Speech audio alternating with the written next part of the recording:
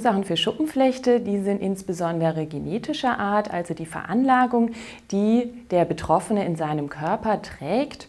Und dann gibt es eben zwei Erkrankungs Startpunkte, zum einen so das 20. Lebensjahr, aber auch einen späteren Zeitpunkt, das 50. Lebensjahr. Und die Schuppenflechte kann durch verschiedene Ereignisse, wie zum Beispiel eine starke Infektion, aber auch mal ein schlimmes Ereignis, eine Stresssituation ausgelöst werden oder dann einen neuen Schub hervorrufen.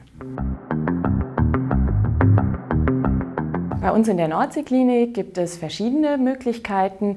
Wir orientieren uns da natürlich anhand der Leitlinien. Es gibt sowohl die Lokaltherapie, also verschiedene Cremes und Salben, aber auch die UV-Therapie, das künstliche bzw. das natürliche Sonnenlicht und die Meerwasseranwendungen. Zudem haben wir die Zignolin-Minutentherapie, das ist der Wirkstoff Ditranol und da können wir unsere Patienten auch weiter mit behandeln. Natürlich leiten wir auch Systemtherapien ein, wenn der Hautbefund das vorgibt, also wenn die Hauterkrankung sehr schwer ist und führen die nötigen Voruntersuchungen durch. Eine andere Möglichkeit ist bei uns, dass wir auch noch von der Akutklinik Patienten in unsere Reha-Klinik schicken können und sie dort nochmal ein gesamt, gesamtes ganzheitliches Heilkonzept bekommen.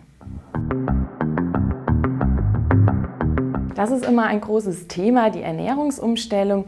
Wichtig bei der Schuppenflechte ist, dass wenn man Übergewicht hat, dass man das reduzieren soll.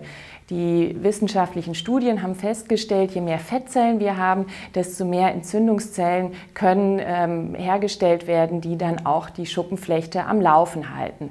Wichtig wäre also eine Gewichtsreduktion und ansonsten propagiert man immer eine gesunde und ausgewogene Ernährung, aber eine spezielle Schuppenflechte-Diät gibt es in diesem Sinne nicht.